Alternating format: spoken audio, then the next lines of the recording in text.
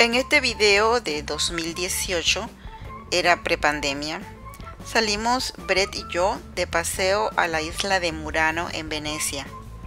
Para llegar hasta allá tomamos el ferry que pasa por la isla cementerio de Venecia. Bueno, no un ferry exactamente, un vaporeto, es una línea especial.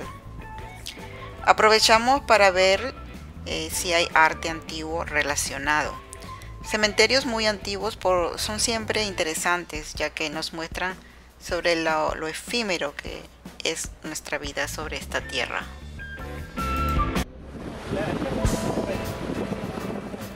La isla cementerio se llama San Michel o Isla de los Muertos. Esta isla nació de la unión de dos islas vecinas, una de ellas seleccionada como cementerio en 1807, cuando la ocupación francesa decretó que era insalubre enterrar cadáveres en tierra firme. El canal que la separaba ambas islas fue rellenado y convertido en una sola isla. En esta isla se encuentra una importante iglesia renacentista, la iglesia de San Michel, y un convento del siglo XV.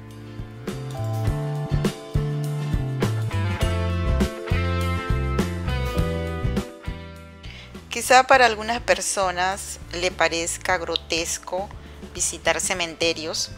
A mí en lo particular me llaman la atención los antiguos, porque lo veo como hacer un viaje al pasado, como si pudiera abrir una ventanita y echar un vistazo al estilo de vida, al estilo de pensamiento de las personas de esas épocas.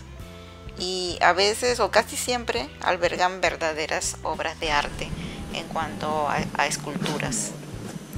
Cementerio de Venecia, en la isla de los cementerios.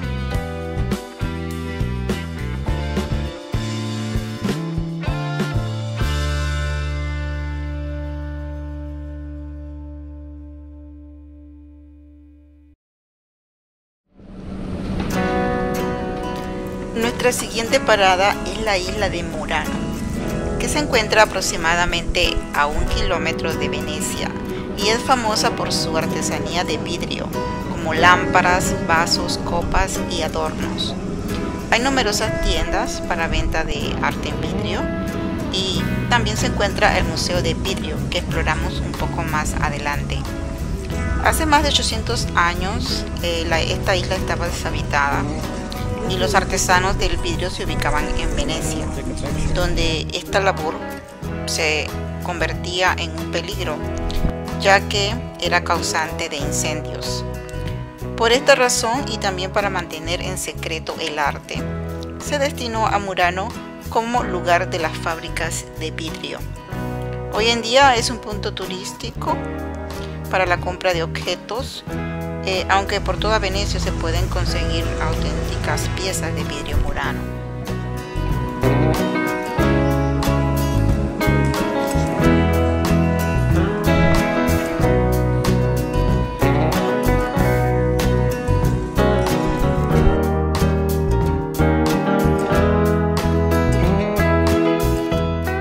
Después de recorrer un poco las calles de la ciudad, entramos a el Museo del Vidrio.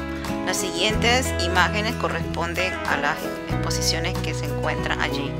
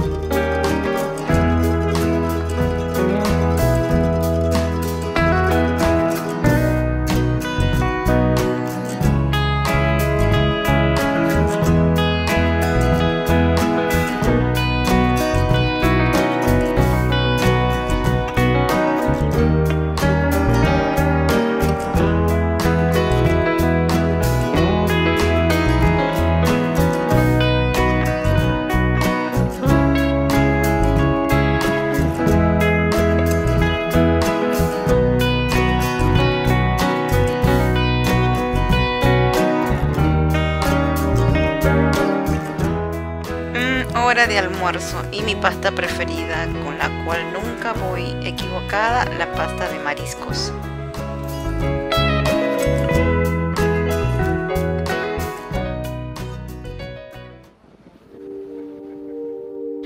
Se llega la hora de regresar a Venecia y en esta ocasión paramos por un área donde hay un jardín y aprovechamos para sentarnos en una mesa y tomar un. Eh, a la hora de ya casi del atardecer. Después de eso pasamos por un área donde hay una, unas esculturas, era un rinoceronte. Este rinoceronte creo que está ligado a la historia de los antiguos eh, habitantes en Venecia. Y de esa manera pues terminamos el día muy contentos por nuestra visita a las islas vecinas y pasando este increíble, eh, este increíble atardecer en esta parte de la ciudad.